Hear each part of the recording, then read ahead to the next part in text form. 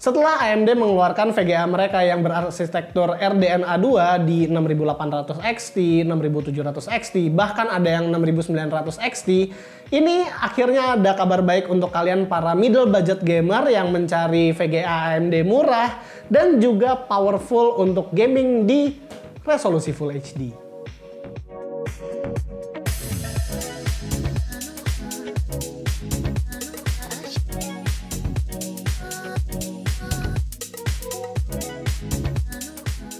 Arsitektur RDNA 2 memang sudah diandalkan oleh AMD sejak tahun 2020 untuk melawan RTX 30 series milik Nvidia. Dari 6800 XT, 6900 XT, sampai yang paling budget adalah 6700 XT buat gaming di resolusi 2K. Nah, kali ini AMD merilis line up GPU mereka untuk gamer di resolusi Full HD atau 1080p. Berbeda dengan beberapa kakak-kakaknya, di 6600 XT ini AMD menjamin akan ketersediaan stok barang dan kestabilan harga walaupun memang kita tahu sendiri 6700 XT dan 6800 XT ada di posisi harga berapa. Oke lah, review video kita kali ini akan fokus di produknya dan bukan di harga pasar. Buat RX 6600 XT sendiri, spesifikasinya adalah sebagai berikut. VRAM-nya ada 8GB, dia punya 32 compute units atau ray accelerators, terus dia punya infinity cache itu 32 MB, dan kalau di AMD itu ada namanya game clock, dan di sini di 6600 XT dia ada di 2359 MHz. Dan itu semua hanya di rate di TDP 160 watt kalau dibandingkan dengan 6700 XT ataupun 6800 XT secara specs sepertinya 6600 XT dengan 6700 XT nggak terlalu jauh deh berbeda performanya apalagi kalau kita melihat precision compute performance-nya. Tapi apakah memang benar? Kita lihat aja di bagian benchmark. Buat unit yang kami review berasal dari brand Power Color. Di sini GPU-nya itu dual fan dengan desain yang cukup cakep. Warnanya silver dan hampir seluruh bagian dari case heatsinknya ini terbuat dari metal. Bahkan di bagian backplate. Di I.O. belakang ada dua port DisplayPort dan juga dua HDMI 2.0 dan buat PCIe powernya karena GPU ini hanya mempunyai TDP sekitar 160 watt jadi hanya menggunakan 6 plus 8 power pin. AMD klaim kalau tidak ada reference card dari 6600 XT ini, tapi mereka juga mengikut sertakan kalau akan ada banyak brand yang juga akan ikut memproduksi RX 6600 XT ini. Di bagian benchmark kali ini, kami akan menggunakan testbed andalan kami dengan prosesor yang baru aja masuk ke testbed, yaitu Ryzen 9 5900X dengan cooling H100i RGB Platinum. Buat motherboardnya kita menggunakan ROG B550Xi, RAM-nya Corsair 32GB dual channel DDR4 3600, Corsair MP600 Pro PCIe Gen 4 SSD dan di dalam casing Corsair iQ 4000X. Beberapa skor benchmark GPU kali ini akan gue bandingkan ke tetangganya yaitu RTX 3060 Ti.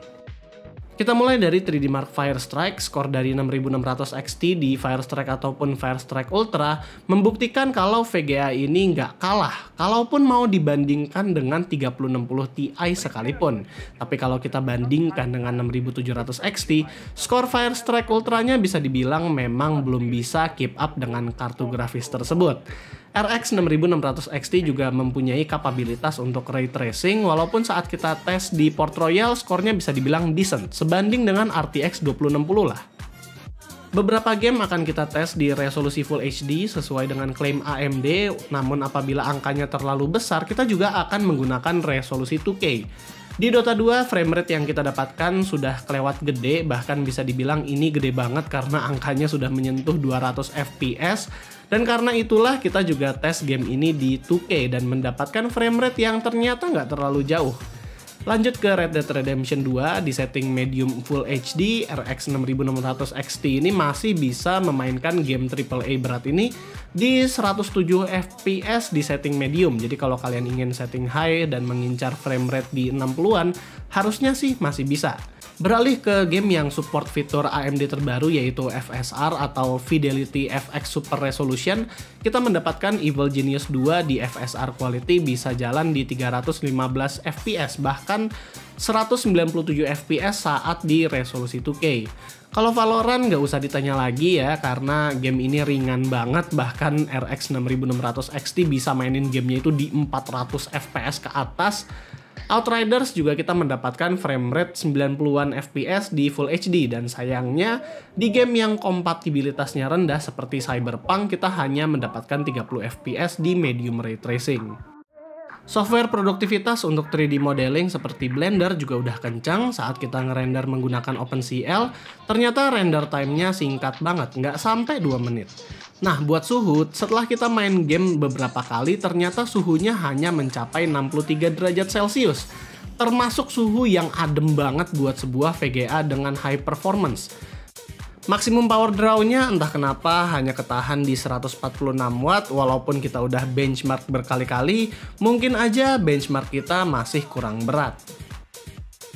Oke, jadi intinya GPU ini sangat bagus. Mau dibilang secara skor sintetik benchmark, kapabilitas ngegame, ataupun productivity software yang tadi kita uji.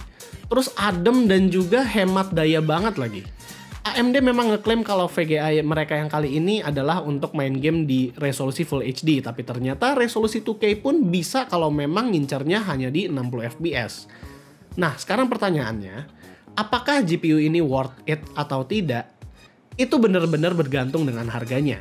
Kalau melihat MSRP alias 379 dolar, kalau kita jadiin ke rupiah itu sekitar 5,5 juta. Kalau misal deh ini sampai ke Indonesia dijualnya jadi 6 jutaan atau 6,5 juta, itu worth it banget mengingat harga 6700 XT dan semacamnya lagi gila-gilaan.